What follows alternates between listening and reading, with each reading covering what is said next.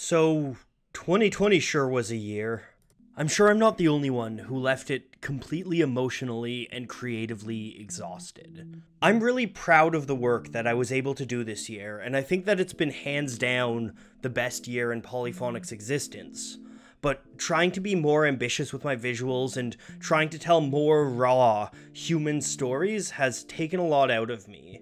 So I wanted to let you all know that I'm going to be taking a bit of a hiatus from Polyphonic for the next month or so. I don't really have a firm plan as to when I'll return, but I think it'll probably be sometime in February. I'm not going to be completely gone though. If you want to keep up with me, I've got a number of other things on the go. You might have noticed that in the past few months I've started live streaming, and that's something that I'm gonna continue through January. I'll probably do some streams on YouTube, but for the most part, I'm gonna be moving my streaming over to Twitch. So be sure to follow me at twitch.tv slash watchpolyphonic if you want to see me talk about stuff. My streams will be a whole bunch of stuff music tier lists myself making art and maybe even some live video editing. I'm, I'm not really sure. It's it's gonna be it's gonna be freeform. And twitch.tv slash watch polyphonic is also gonna be the home of my new streaming show very important charts.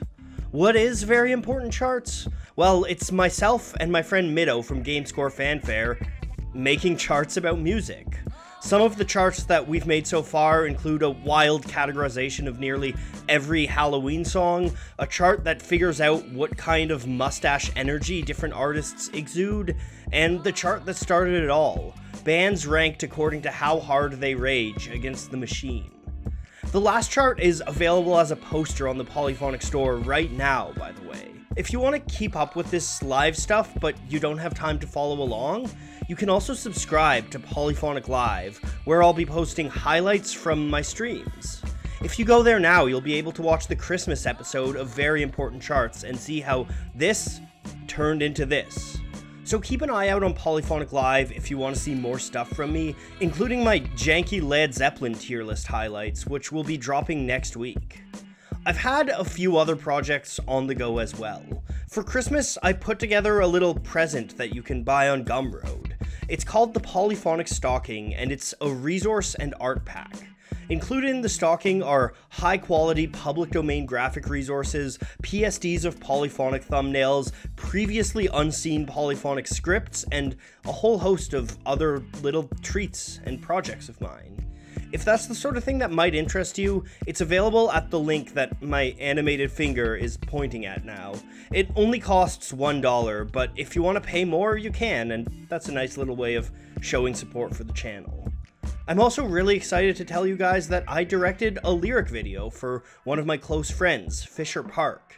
It's kind of a love letter to my hometown, and if you want to check it out, you can head on over to his YouTube channel the the finger will be pointing at him now or something.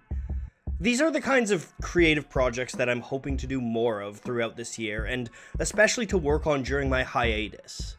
And I've got one more thing before I go. Over the holidays, I hit 800,000 subscribers. That is insane to me, and I want to thank all of you so much, and especially those who support me on Patreon and Nebula. To celebrate this milestone, I'm going to be having a live stream Q&A here on YouTube. That's going to happen Monday at 1 p.m. Pacific. So pop in and ask some questions. I'll be collecting questions from Twitter at Watch Polyphonic as well as from super chats while I'm streaming. So, yeah, I think that's pretty much it for this update video. I'll leave it on a thank you. You all have done so much to support me, and once I'm back from hiatus, I've got some videos in mind that I think you're all really going to enjoy. So keep an eye out for that. Stay safe. Happy New Year. Let's let's make this one better.